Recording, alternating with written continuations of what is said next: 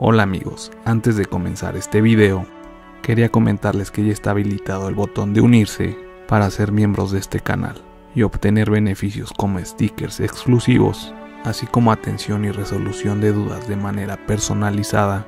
Es por eso que no esperes más y sé miembro de este canal utilizando el botón de unirse que está abajo de este video. Ficus insípida, también conocida como oje por su nombre común, esta especie vegetal pertenece a la familia de las moráceas y habita en un clima tropical y subtropical. En cuanto a su cultivo, se siembra durante todo el año.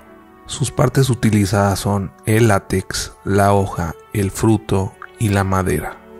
En cuanto a sus propiedades y beneficios, sus componentes químicos son el lavandulol, el filantol, la filoxantina, la beta-amirina, la eloxantina, la ficina, el filantelol y la doxantina.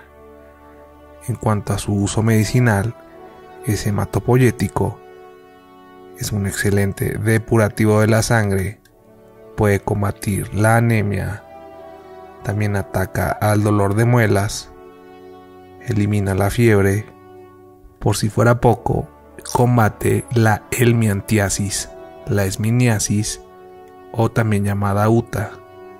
Y en cuanto a zoonosis, puede combatir las mordeduras de serpiente, las picaduras de hormiga y por último, pero no por ello menos importante, puede tratar el reumatismo. Ya casi para terminar, el género Ficus presenta alcaloides, esteroles, triterpenos, flavonoides y cumarinas.